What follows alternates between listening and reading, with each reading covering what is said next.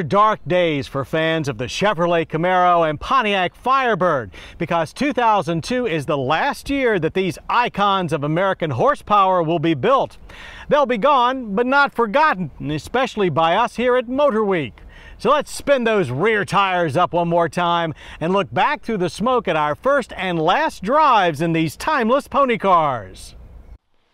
What's going on guys? Welcome back to the channel and welcome to today's video where we are finally going to start our third, I believe, video on the CETA. Uh, this summer since buying it, all that I've done to this car is actually driven it. And after driving it, of course, like any vehicle, high mile, low mile, otherwise you're going to find things that are wrong with it or just some maintenance that should be done where you make a vehicle even better. To start off, I want to say I'm super happy with the car. This is a very, very nice collector's edition Trans Am. Uh, for those of you that are watching and are here to see track content, this video is not for you. This will be all about F-bodies, so coming up soon we'll have more track video. But this is a 2002 Pontiac Trans Am WS6 collector's edition as you'll notice by the collector's yellow paint color and the graphics on the side of the car now there's other unique stuff about the car such as the unique center caps on the wheels and the decals on the door as well as the unique headliner and floor mats. You can see there the CETA floor mats and there is a CETA trunk mat in the interior that's unique to the cars as well. This is the OEM trunk mat on this car and they're known to wrinkle like this. The leather on top of it shrinks and it just causes this massive uh, wrinkling issue, which is unfortunate. And after doing some research, it seems like there's not a good way to straighten this back out. So if you're an upholstery guy and you know how to relax this material, uh, let me know. You're actually going to help a lot more people than me. But it seems to be that the best way to get this fixed is to actually get a replacement, which I've got right over here from eBay. So let's get this up here. I'll show you what it looks like. I'll lay it out. I mean, Look at how rigid this thing is. You can almost hold it on the end. Yeah, it almost almost sits rigid straight out, so it's banjo tight right now. Um, I'll store that, of course, not getting rid of it, but the most reasonable replacement, you know, without getting custom, is these from is one of these from eBay. Um, I think they're, I think I paid like right over 200 bucks for this. I forget what, but you can find it on eBay if you look up CETA trunk mat. They have this in a number of colors and flavors available, but it's a pretty accurate reproduction, I would say. Um, if you know looking at one, you'll know it's reproduction, probably first of all by how flat it lays, but second, uh, the stitching is a little bit different. So for those of you interested in buying one of these, here's how the eBay reproduction one looks right here.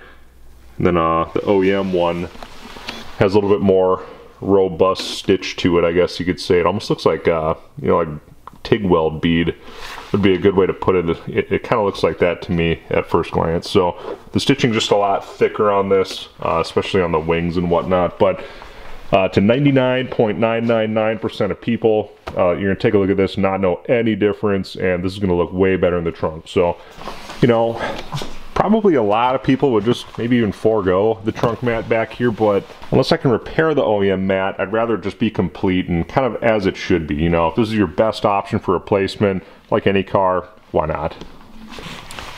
Nothing unique on the back of the car other than the cool license plate I got for it. But there's a couple other things I wanted to show you that I found out about the car since purchasing it, and one of them includes some cool pictures from the prior owner before Tennessee who owned it in Colorado. Now, one fun thing I thought I would show you guys, let's say back in the day, the, the original owner paid $35,330 out the door for it. Now, whatever they paid might be true or not, a quick inflation calculator shows that today, that same car is $60,569 if we just went from 2002 to today in 2024. So, this car right here was $60,000 brand new, which is a lot of money today. I don't care how you slice it. That's a really nice new uh, loaded gas truck. It's uh, any number of things, but that's quite a bit of money to spend on a car for most folks, and that's myself included. So that is a pile of money back in the day. They only made 2,390 of these cars total. I've seen 2,390, 2,400, it's something like that. So this is a pretty limited run for 2002. And the idea of these cars is that they are Pontiac's send off to the F body, just like 2002 Chevrolet and Camaro did the uh, 35th anniversary or limited edition Camaro. So with the car, I didn't really show any of the stuff on camera. I got uh, the original window sticker that they actually peeled off really nice and laminated back in the day and this would be like a delivery sort of sticker I guess that might be in the vehicle. One thing I got recently is I got a couple of these off of eBay. These are really hard to find and they finally showed up in my uh, little search box after all this time. These are I believe Canadian brochures from 2002 so these are pretty hard to find.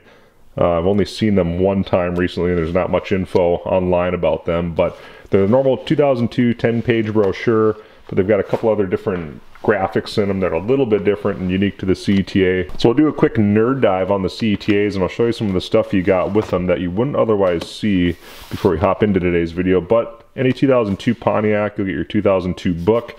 And inside of here is where I actually got contact info for the original owner of the car.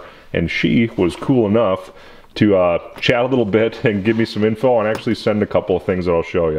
So we'll go over that in a minute. But this book with the CETA uh, light pen and notepad, tire pressure gauge, and little engine card is something that you got with these cars. So it's kind of cool. You know, if you like F-body stuff, this is total like nerd stuff. But uh, I'm just giving you guys a view of this because this is something that normally you won't see, especially like in a video. But again, CETA tire pressure gauge. So a couple little trinkets in there, but I'll show you what else came with the car. So this letter is from Marcus Shelley, and I'm just blocking out the VIN on there. But um, anyway, this is the car. It just kind of gives you the breakdown of the car, and there's a certification letter from who upfitted the car back in the day. It would have been received and gotten the graphics and stuff installed on it. So ASC is who did it. Uh, Marcus Shelley is retired from that company, and he does give out these certification letters. And if you're familiar with uh, Ford products, this is similar to maybe getting um, a Marti report. It's, it's, similar. It's not the same thing exactly, but what you end up with is kind of a breakdown of what your car is, and it gives you your build number as well. So this car is build number 936 in ASC's records. So that's kind of cool to have. Um, other things that the car would have came with uh, from the dealer are you get this little single page pamphlet here. Um, that's kind of cool. This has been laminated. These are available on eBay pretty readily. So this might be some sort of a sales brochure more than anything, but they come with this. They also come with a little letter saying that you are part of the F-Body Illuminati, I think it says, and there's no other one built better than this one and all that. As we all know, the WS6 or any Firebird is a superior vehicle to the Camaro. That'll be an unsettled debate forever, but I'm just joking. Love Camaros too. But I'm going to show you the pictures that the first owner sent. All right, check this out. Could you possibly find a picture this cool of your car from when it was brand spanking new in 2002 at a now closed drag strip? So Misty had a copy of this photo from when it was new after she bought it and was driving it and was kind enough to send me a couple of copies of it as well as a Pontiac, uh, high performance Pontiac magazine she still had from back in the day. And uh, it's about the collector's edition Trans Am. But this picture is super cool. Um, you really can't pay for this sort of thing. And just to be able to have it with the car that it is, you know, from back in the day, from the original owner who, you know, back in the day I would have never been able to get in contact with is just kind of unheard of. So that's why I wanted to share with you guys some of this back stuff that I've been finding in the background. That's super cool to have. Um, what else have we got? This is just the magazine that she sent to. She's had this since, you know, whatever year this came out, 2002. So she's been sitting on the stuff this whole time and she talked very, very fondly about the car and how much she missed it and stuff. And it was actually really nice talking to her. So, uh, Misty, if you see this, which I think you might, um, thank you for all this stuff. I got it kept in a safe place and I'm working on the car and uh, treating it right and whatnot. But the last thing I'll go over is these little pamphlets that they come with. Um, it's a real oblong kind of thing. It's a little booklet. I have a couple of these that came with who I got from the prior owner. Um, you could have got these for the car too. But last but not least, and the most important, something that I'm a little bit ashamed to admit that I spent money on and, and kind of a lot of money is this. Um, I bought this before I bought the car, actually, I saw it on eBay, and looking back, I got an okay deal on it. But these usually go, you know, in the mid hundreds for dollars. They're not the cheapest thing ever, but they're uh, not readily available. But when they pop up, they're uh, pretty hard to come by. So this is something I'm gonna have to hide from my son because if he sees it, he's gonna want to get in there and play with it. So anyway, that's about it for uh, my nerd quest I've been on for the last, um, you know, going on a year. I got a whole bunch of good stuff. It's documented. We got some original stuff from the original owner, which you really, you just can't pay for. That is the coolest thing to me that I found are, are these pictures from her. I've got a couple more. They're on my Instagram page if you want to see them. But um, for those of you that don't believe me, uh, there's a little note here from her what does it say? I thought this mag article belonged with the car and uh, Deanne. So anyway, thanks for that. I appreciate it more than I can tell you. Let's get right in today's video and we're going to start servicing the CETA.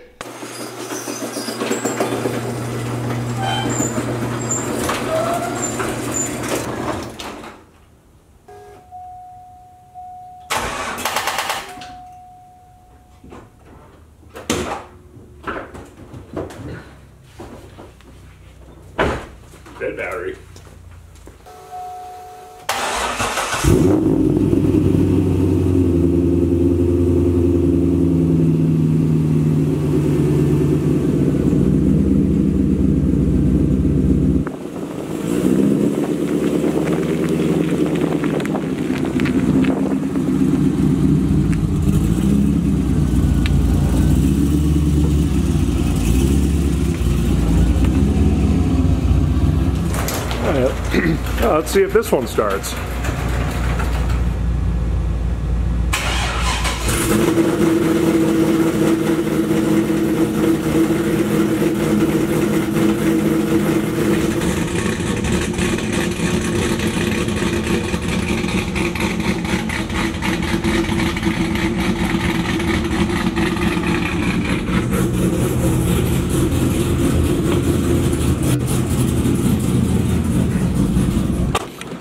Think I've done any filming with this car since I actually bought it down from uh, my buddy down in Tennessee. So this is actually the first video of it, I think since really.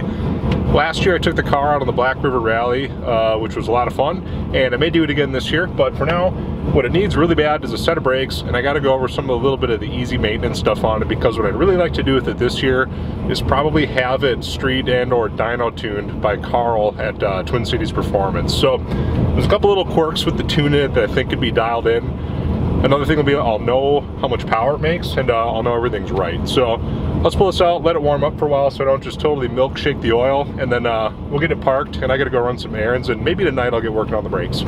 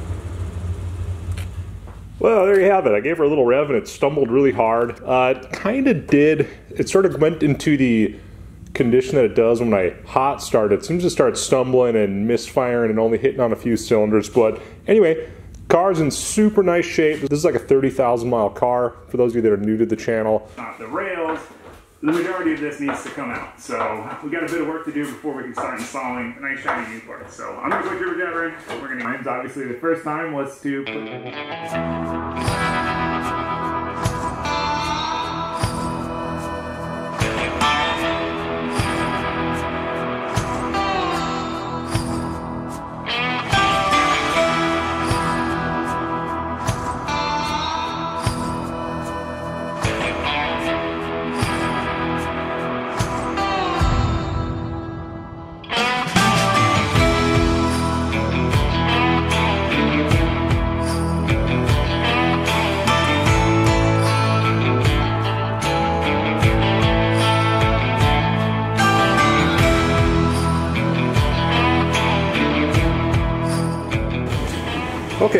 the car is up in the air on all fours. Uh, nothing really go over there.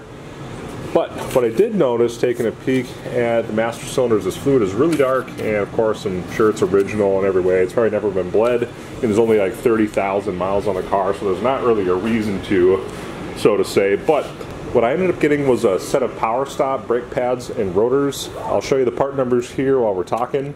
And basically, I got them because they are a coated, a fully coated rotor, and what I want to do is make sure that it's going to have an OE type looking finish when it's all done. It'll look very similar to the AC Delco ones. The one reason that I'm swapping all these out is I got a pretty good shutter in the front end under braking. And as you may know, on the front of your brakes when you feel it up there, it's because you have warped rotors. So obviously these have seen some heat at some point, whenever that might have been, I don't know. But basically I'm gonna fix it. So enough uh, jibber jabbering about this. Let's start taking things apart and get to replacing the front and rear pads and rotors.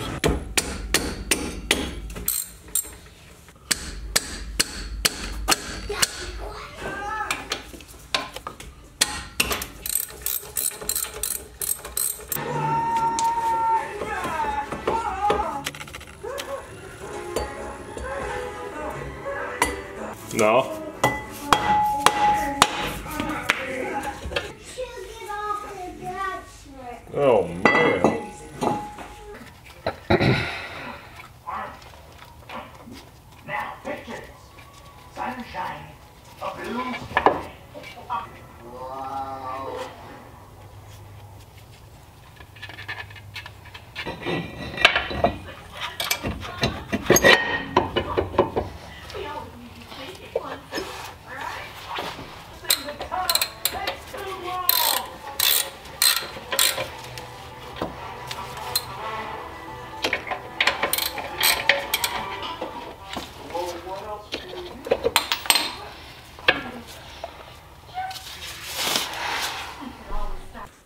Well, there you have it. The brake job is done on the car. We're about to move on to the next section of today's video, but I just want to show you a quick look. These are called genuine Geomet coated, I believe, uh, rotors, and I did get their matching or recommended pads for the front and back as well. So here's a quick view of the rear passenger side, all done and installed. It's gonna look nice behind the wheel.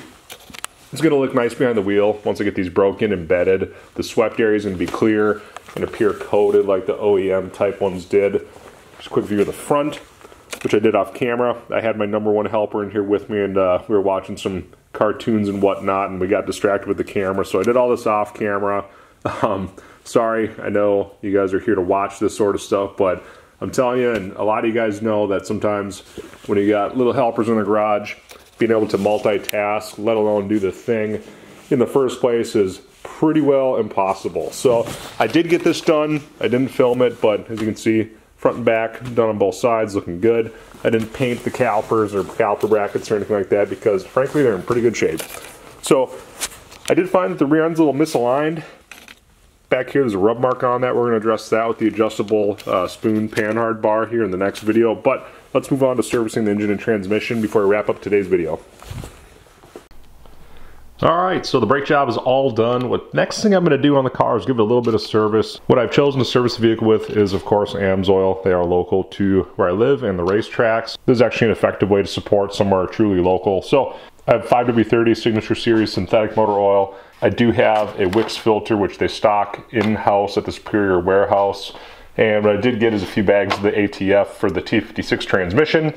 Metal protector is for obviously protecting metal. I'll not be using this on the car, but this is for other stuff. I just keep it around the shop. And the gasoline performance improver is that's just something I like to put in my gasoline engine powered fuel systems on occasion. It is a good fuel treatment to care for your fuel system. So pretty straightforward. Let's get under the car, change the oil, transmission fluid, and work our way to the back. Where I'm gonna check out the differential and see what kind of shape that fluid's in, and we will go from there on servicing the CETA.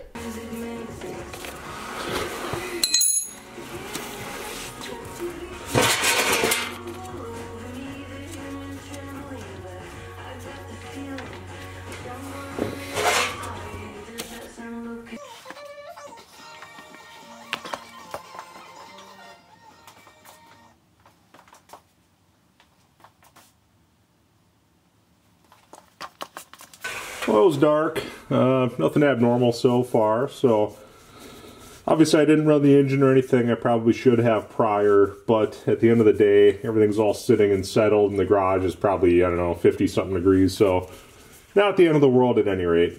Drain plug all cleaned off. But anyway, I'll let this drain out and uh, crack the filter loose and swap it out for a new filter and fresh oil, and off we'll go this summer.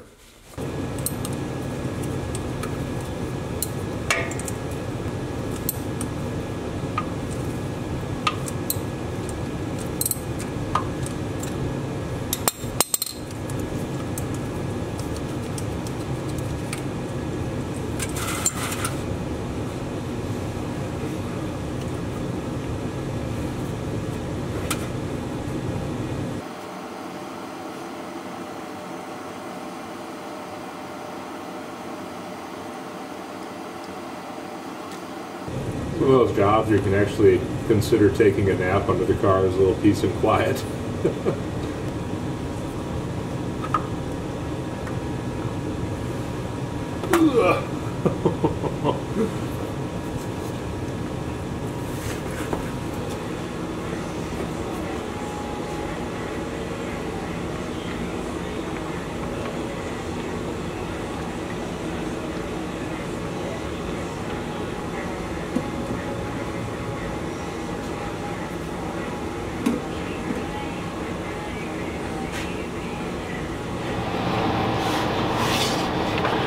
Okay, so as we all well know on a transmission job, you're gonna wanna open the fill plug first. So if you drain it, you know, a lot of you guys know this, but if you were to go drain it and for whatever reason you weren't able to open up the fill plug, you can't really fill your transmission.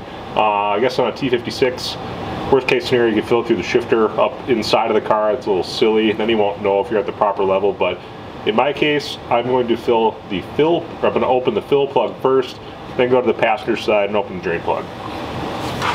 I'm really thinking with those neat little uh, fill bags. Ooh, that is tight.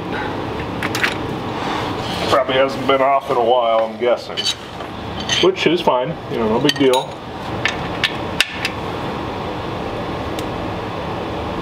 Okay. There we go. So obviously I was able to get in, but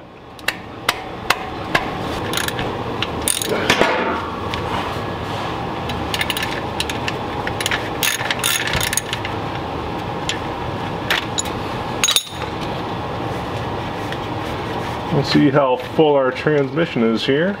Oop. And nothing came out. Car is sitting pretty level, so we'll see uh, what that translates to with fill volume.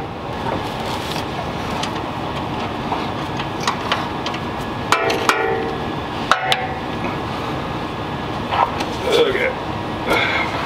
Let's think backwards here.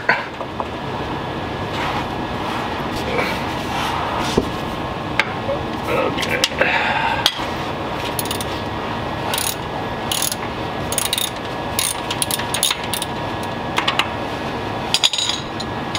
This fluid could only have like 30,000 miles on it, so let's see what that looks like. Almost went no, almost went into the camera, but that's pretty red, not bad. Put a drain down here and off we go.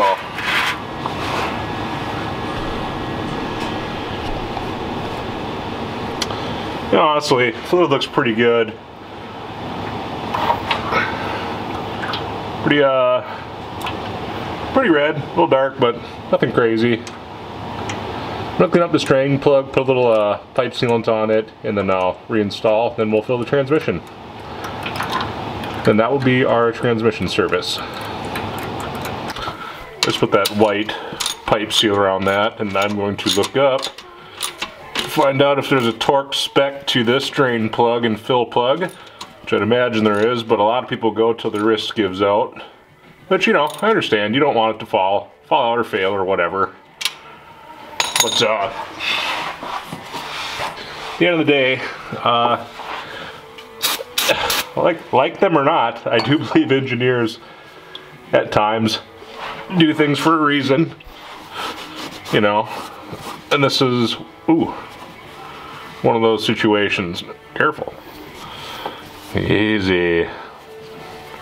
Put just the tip in the bucket. Okay.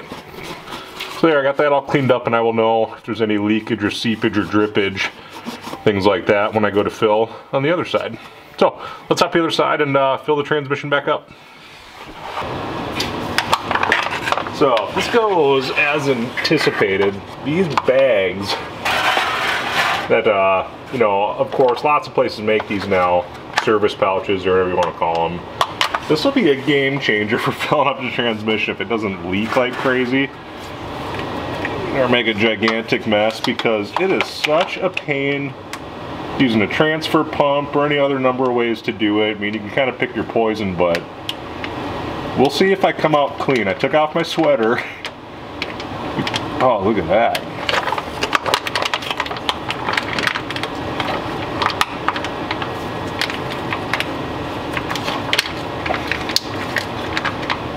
Wow, this uh, went really slick so far, so going to continue on. One quart.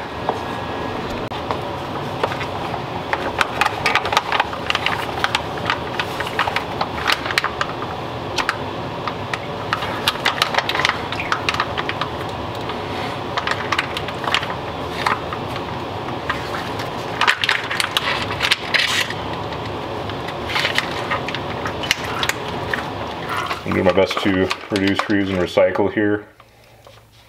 At least get this to uh, the recycling center, not just into the earth. Three quarts.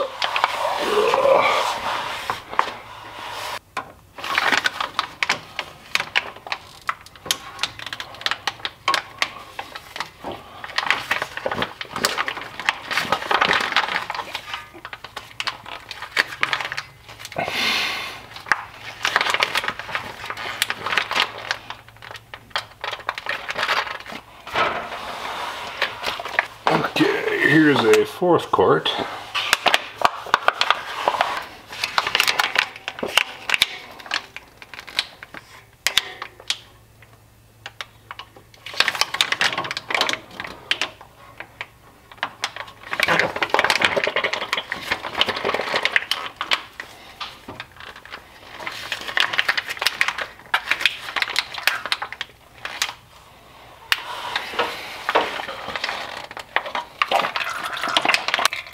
There's capacity. It was running out there, probably noticed, and that is at capacity now. So uh, I'm gonna grab a wrench, snug that down all the way, and a rag, and clean up, and we should be full. Good to go.